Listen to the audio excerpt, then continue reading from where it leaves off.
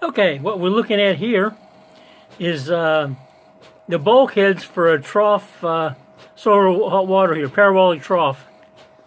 Um, the little black circles with a center punch, uh, I intend to drill those, and then I got one of those uh, electric uh, metal shears. I'm going to cut a slot down between the tabs. Uh, we'll also drill the holes in the tabs before we bend anything. There's a red line, and there's another piece of uh, of a drawing here that will cut out a template of that red line. That red line is the uh, back side of the tab. So what you do is you, is you clamp the metal plate to the uh, uh, to the we call it a buck, and uh, when you strike it, you don't just get out there and bend it over. You want to hit it near that uh, the crease line because you want to have a sliding blow. Drag the hammer off of the plate so it slides across it as you hit it, and that'll stretch it around the corner with no kinks, bends, won't uh, won't buckle the plate up anywhere. Uh,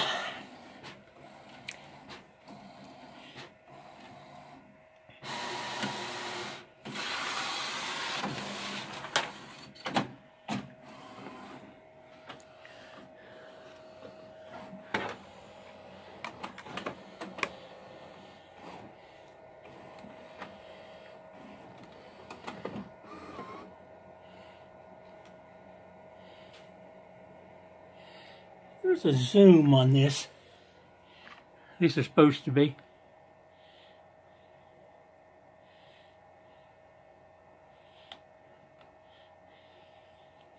Well, I know there's one on the camera.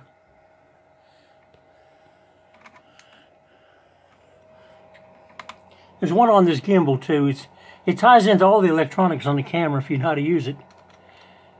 Apparently I don't.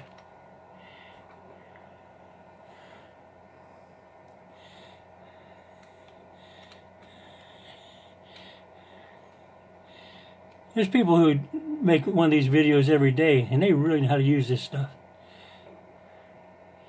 Okay. We printed one, and well, let me throw this one out of the way.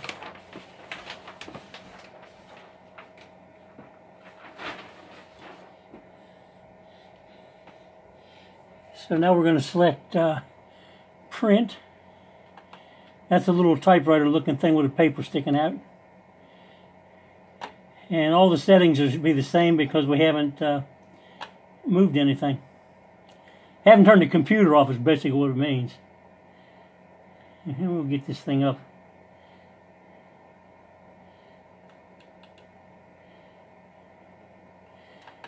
And we have margin all around it. Scan. Instant progress bar.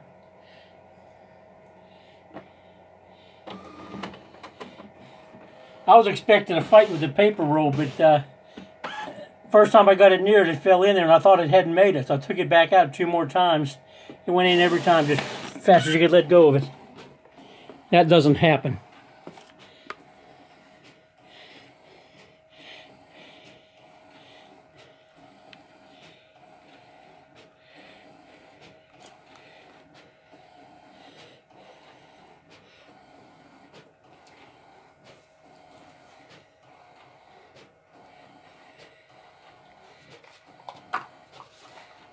Oh, a correction on the paper. Those rolls are not a six inch diameter roll of paper. They're about a three or three and a half inch diameter roll. There's four of them in a box. It's like a case.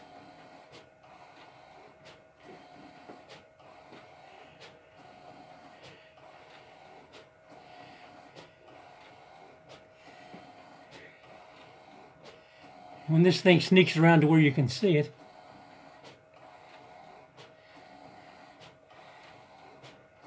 the uh, edges of these uh, bulkheads get 90 degree flanges bent on them. We call that a, a break in them. You, you break an edge. Um, I don't know what they call it when you're not building airplanes. We call it break in the middle. Um, and that gives you a flange that you can uh, drill through the side uh, piece, whatever you're using for a side piece, and uh, stiffen it all up. In other words, the bulkhead's attached on the entire perimeter.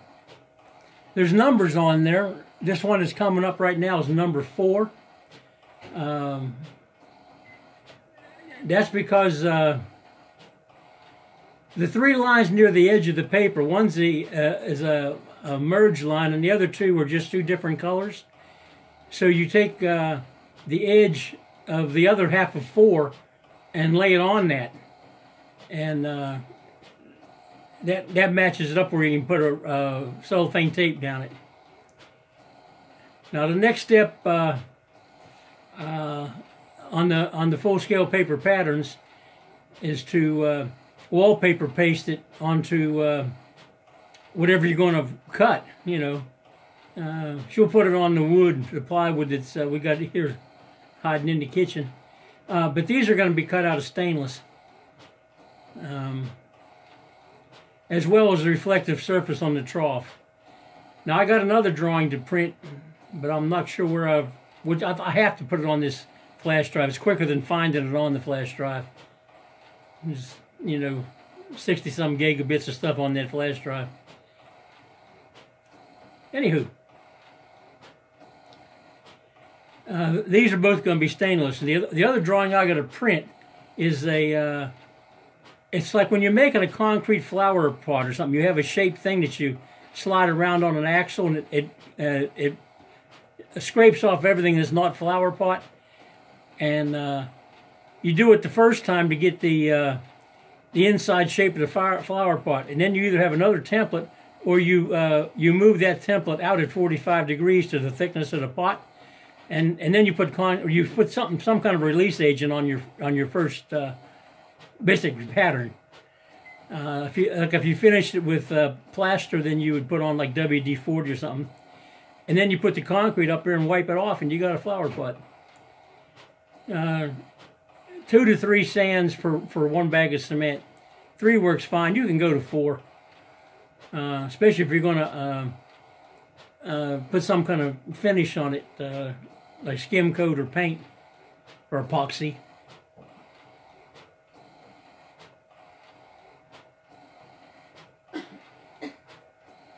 And you can see coming, it's been coming by here now, uh, this bulkhead is uh, is, is uh, one piece on the drawing.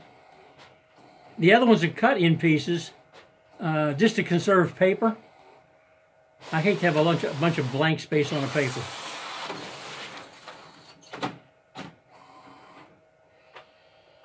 Uh, me get this out of the way. Oh, golly, I took my shirt off.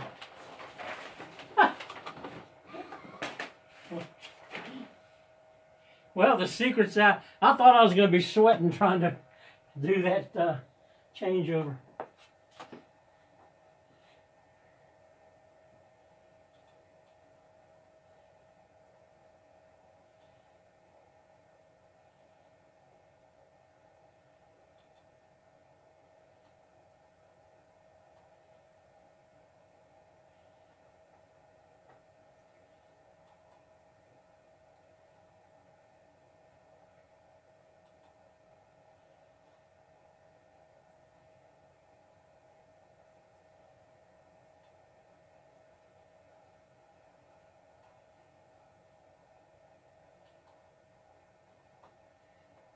And we'll move it one more time.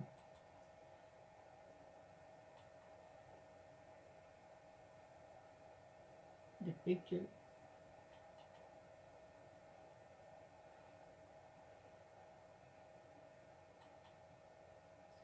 Yeah, the fat guy walked in front of the camera. Big mistake. Let's see here. more of a preview what's going to happen. Um, yes, I'm wasting paper on both ends of everything. I'm just struggling with the um, changing the paper size. And tonight I want to do the printing while I got all this plugs and cords all hooked up. So I, I use the paper for something, scratch paper, make lists on whatever. It doesn't cost any more than any other bond paper. It's just that uh, I have to, to go find some place I can buy it when I need it. Uh, last time I bought uh, five cases of it, so I've still got a full case and three rolls in the uh, one I just opened. So that's a near lifetime supply. We bought a whole stock of uh, the ink cartridges. There's like four ink cartridges in this one. Maybe it's five. The dye sub has six because it's got cyan and another color in there in the mix. And what this thing is, it's uh, to make a parabolic, uh, uh, circular parabolic antenna for uh, Wi-Fi. The deal is you uh, go over to your sand pile and you drive a piece of rebar in the ground, and this pattern will have a, a piece of pipe uh, bolted to it to like to fit over the rebar, and uh, you drag it around and knock worst of the sand out of the way, and then you put a spacer under the pattern to raise it up a little bit, and uh, you can put concrete or uh, gypsum plaster, whatever you want on it, and that will let you strike off uh, a nearly perfect surface uh, for your uh, parabolic antenna. And it because you're working from the the working surface each time, when you put fiberglass on that uh, on that pattern, it's exactly the same shape as this drawing in the computer. Um, written on this one, this is a, uh, five foot diameter, 60 inch. Actually, it's 59.987 or some mess like that. Um, I don't know why it's not exactly right. 20, the radius is 29 point something coming up. 29.96, whatever. Um, focal height is 16.4 inches on this. Now, if you don't know where the focal point on your parabolic uh, reflector is, uh, you take a uh, a, a mirror like you have in uh, makeup purse kits and things like that, a little small piece of mirror, and you slide it along the dish. Wherever you slide it, it's going to try to go through that focal point. So uh, if you have a piece of paper or something up there, uh, better yet, a piece of metal, because paper will just blame catch fire as soon as it hits it. Because um, it's going to concentrate it, uh, I don't know, 7,000 to 1. Um, anyway, you want to you want to position your uh, the, the, sensor that you're going to catch the, the uh, Wi-Fi signal with, where, wherever you slide that mirror on the surface, it's on the center of, of, of your uh, antenna. If, it, if it's not on the center, then uh, you just wasted a bunch of materials because only the part that hits the antenna does you any good. Uh, I know they mount them off to the side and tilt the antennas, but a lot of the signal uh, doesn't ever hit it when you do that. Or else it's not a parabola. You, It's some kind of another shape. I, I, I could see and see any kind of shape to, to make it all hit. But why would you bother when you can make it uh, a parabolic shape in the first place? So this is going to mount off of uh, three pieces of half-inch rod off the rim. And uh, I'm going to use one of those 5G uh, uh, uh, antennas that you plug into your laptop for Wi-Fi goes into the USB socket on on a laptop or a desktop computer, and you get a 25 foot or whatever extent. I think they only come in 25. You can put two of them together. More you put, the worse your signal is. But be, being we're we're multiplying it by 7,000, I think you can afford to lose a little bit. Okay, uh, there's no use uh, just running this on, uh, and you know I'm just going to turn it all off. Uh, we got another six pages to print, but uh, it, it, won't. It's, it's all. It's just more of the same. You set it the same. You should change your paper size, and if the software was working right, you can change it. But I can't overwrite a size that's in it. So uh, I did manage after 45 minutes to make it into a 76, uh, and that's what we printed the other ones with. And this one, uh, I need one longer one, but I think I'll probably uh, I'll probably just print, let's cover half of it up and print a bottom and a top. Just uh, waste some paper. And the, oh, the other the other ones I got to print other than the uh, the parts for the for parabolic water heater is uh, two smaller scale uh, parabolic round antennas, one three foot and one four foot. Uh, the ones I have from DirecTV from the states here they're two and a half feet by about one and a half. They're uh, um, elliptical, and they mount the uh, um, the receiver. It's got three. It's got a sender and two different kinds of receivers because you have a television signal, you have a Wi-Fi signal, and then you have a transmit where you send it uh, back to the satellite up in space someplace. So it's got three of those heads. Well, wait, why, why explain it? We've got one right here.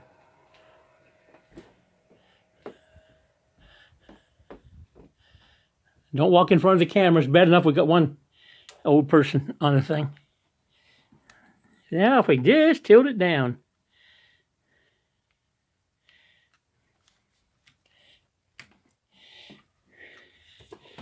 We're not going to do any weed killing in the next five minutes. I'll just move that.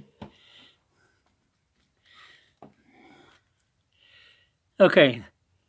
Though you have the one on the right uh, that sends a signal out to outer space. On the left, you have a big one and a little one. The big one's your Wi-Fi, and the little one is uh, your television.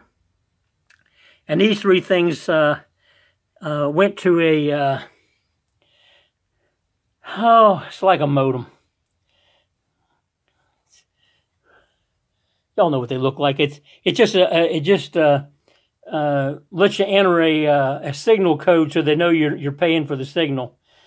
Um, we're going to put a couple dishes up for for the place we actually live, and then probably one out at the farm, so we can take the computer out there. Uh, we hardly ever use the computer while we're working.